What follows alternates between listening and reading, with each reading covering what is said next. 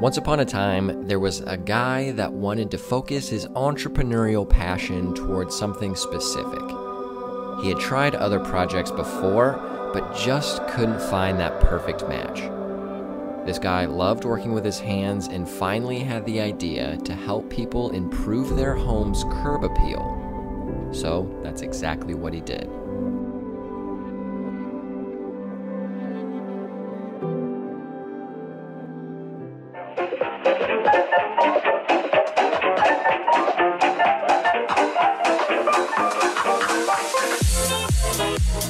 All you beautiful people. Welcome to the Creativity Killed the Cat podcast. My name's Andrew Chwalik, and I'm going to be helping you develop creative marketing that won't break the bank. Our episode today is brought to you by Twilful, my digital positioning agency that helps brands drive growth through omni channel marketing strategies, targeted visual storytelling campaigns, and advanced lead generation tactics. Now it's time for a little fun fact. I think space exploration and the universe in general is absolutely fascinating. If I could go back and do life all over again, I'd be an astronaut and force NASA to send me to Mars. How sweet would that be? All right, on with the show.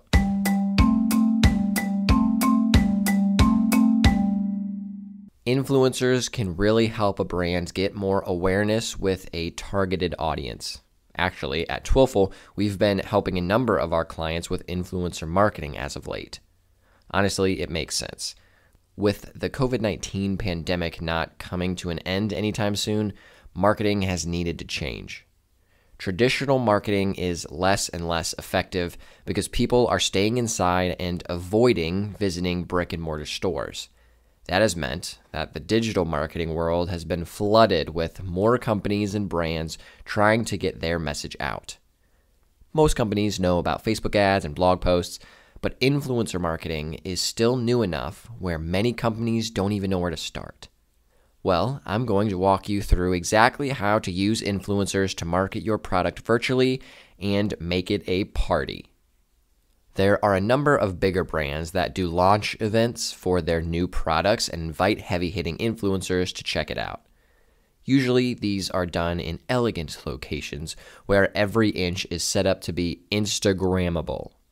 The goal of these events are to introduce media and influencers to the new product and to get them sharing content about it, to get them to generate some buzz and show their audience this cool new thing. While this is often done by large brands with big name influencers, it doesn't have to be. Smaller companies can absolutely take part and should, especially because now it's essentially free. With COVID 19, these physical influencer parties aren't really a thing anymore. They need to go virtual. Here's how you do it. Step one do some research and get a list of influencers that make sense for your brand.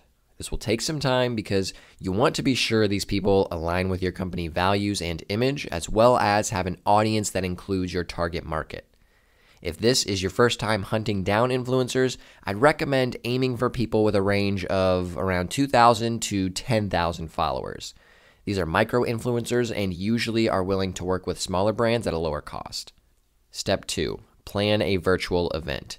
Include fun activities and educational topics However, this is not a seminar, it's a party.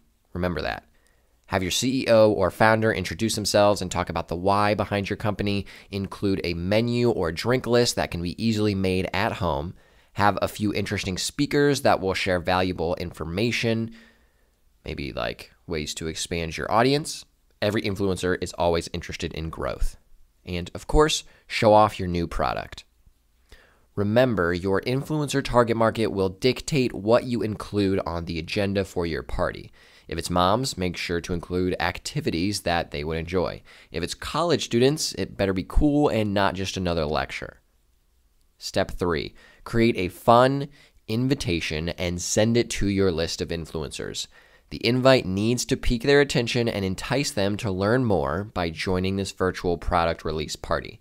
Exclusivity is always a good angle to use. Let them know they'll be the first people to try out this new product. Step number four If possible, make sure every RSVP gets a sample of the product to try before the event.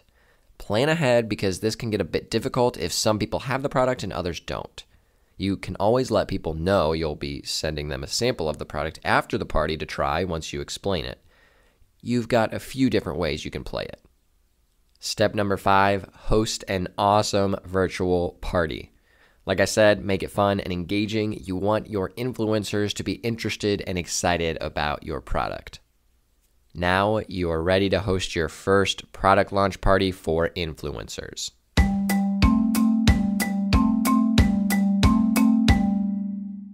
Curb Appeal is a one stop shop for a wide variety of exterior maintenance needs for properties. They offer exterior painting, driveway sealing, power washing, and a number of other services to increase your home's curb appeal. Now that you know a little about curb appeal, let's get creative.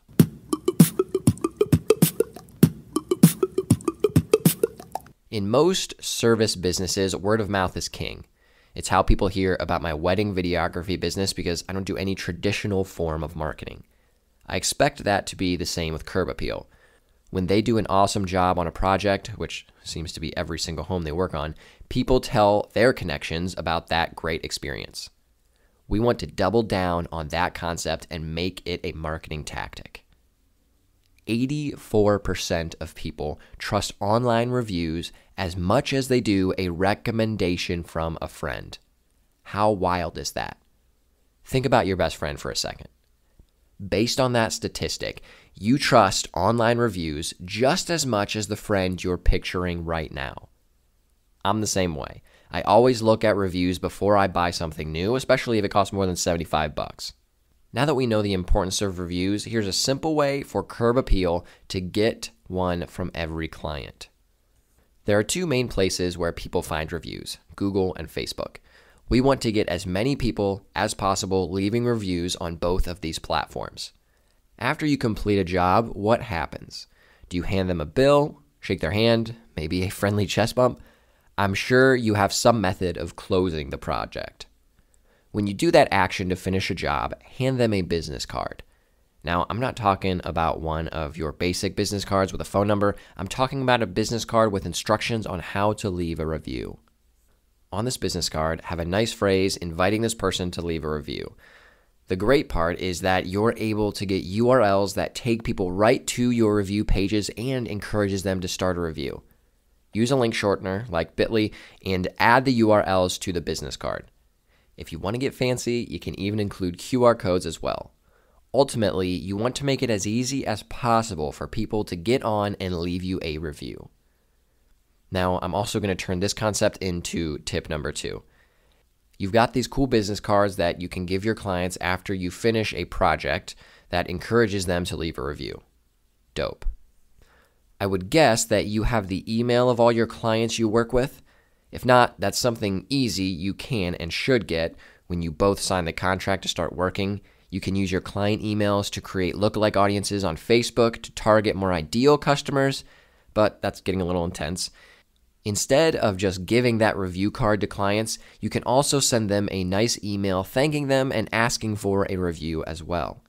In an email, the review links will be clickable and will make it even easier for them to leave you a review.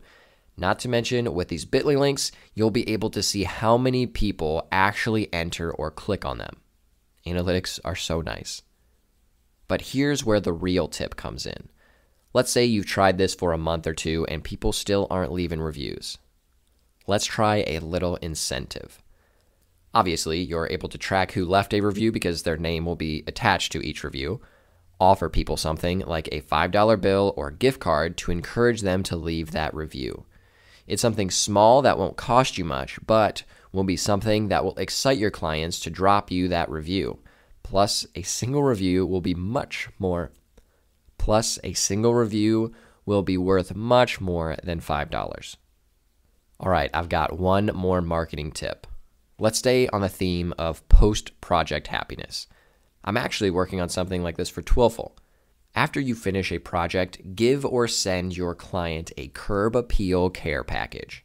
This doesn't have to be anything crazy, but just a nice branded box or bag that has some cool stuff related to the projects you do. I'm talking things like seeds or bulbs for a cool flower that they can plant in their yard, maybe a pair of head shears with your company's logo on them. How about a mini guide for how to mow your yard in unique patterns? Feel free to get creative with what you include in this care package. The goal is to establish a positive relationship with your client. I'm sure you do that with your great work, but finish it off by going big. People love free things and gifts, especially when it's a surprise. Plus, this will make your clients even more likely to tell a friend and be a repeat customer. Not to mention, this care package helps them up their curb appeal even more. Now, that's some full circle branding right there. Boom. Now, Curb Appeal has some creative marketing ideas that will inspire clients to spread the word and leave great reviews. I'm just looking forward to seeing what they put in that Curb Appeal care package. If you want to check out Curb Appeal, you can find them on Facebook by searching Curb Appeal Ohio.